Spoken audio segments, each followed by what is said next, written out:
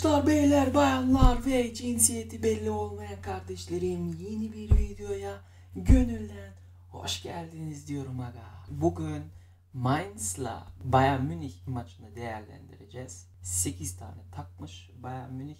Mainz sondan ikinci olan bir takım. Sondan birinciliği oynuyorlar. Israrla diyorlar ki ben birinci olacağım.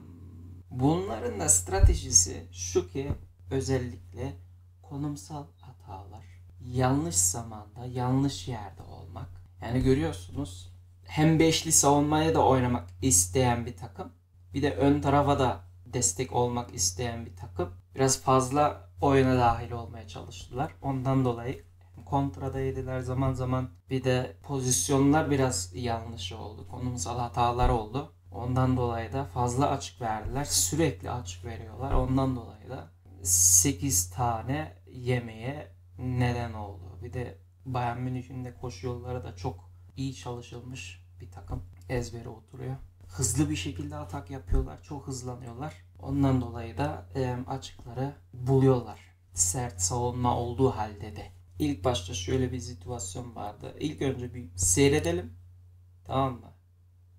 Buraya kadar özetini seyrettiğim için önceki situasyonu bilmiyorum. Herhalde kontra yemişlerdi ki burayı gördüm. Buradan itibaren aslında izledim.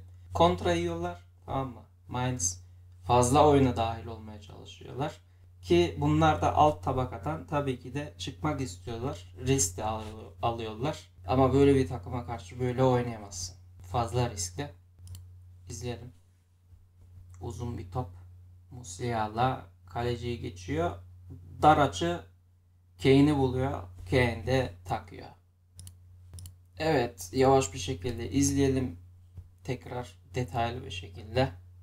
Ee, dediğim gibi buraya kadar ne olduğunu tam olarak bilmiyorum. Herhalde kontra yiyorlar. Çünkü dizilişe bakarsan fazla bir şekilde ön tarafta yer alıyordu Mainz. De Burada da fazla üstünlük yok aslında ama nasıl pozisyon yaratıyorlar bunu şimdi göreceğiz. Enteresan yani Thomas Müller burada topu sürüklüyor. Musiala açıyı buluyor yani pozisyona girmeye çalışıyor. Kane de öyle. Kane'i iki kişi tutuyorlar. 2 numara Müller'e pres yapıyor. 19 numara da pres yapıyor ki 19 numara savunmadaydı.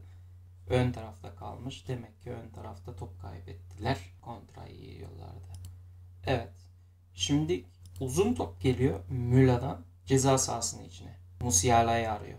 Kane çünkü kapalı. Kaleci destek oluyor. Açıyı kapatmaya çalışıyor. Yoksa Musiala çok tehlikeli. Takar. 3 numarada 23 numarada pres uyguluyor Musiala'ya. Ama pas o kadar iyi geldi ki Thomas Müla'dan. Musiala da iyi indirdi fakat kaleci var önünde. Ne yapıyor? Geçmeye çalışıyor ilk başta. Hızlı. 23 numara yetişemedi. 3 de yetişemedi.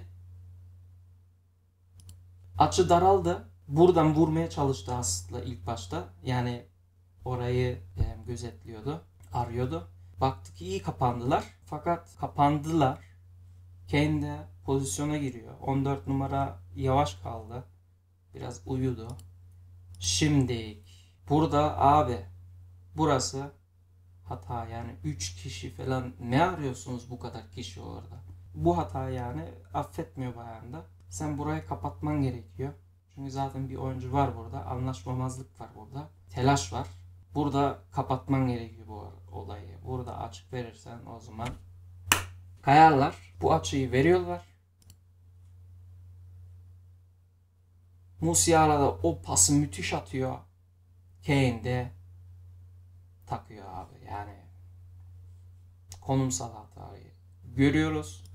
Bu kontradan oluşan bir ataktı. Fakat zaman zaman gördüğümde özette her zaman konumsal hatalar vardı. Yani oyuncular şunun gibi oyuncular, altı numaralar, savunmalar, Kane'i, Müller'i gözünden sürekli kaçırıyordu. Topa bakıyorlardı, topa odaklanıyordu adamlara odaklanmıyorlardı ve adamlar sürekli temiz koşu yollarda uzun topla birlikte Kane'le Müller'i falan buluyorlardı. O şekilde de pozisyon oluşuyordu.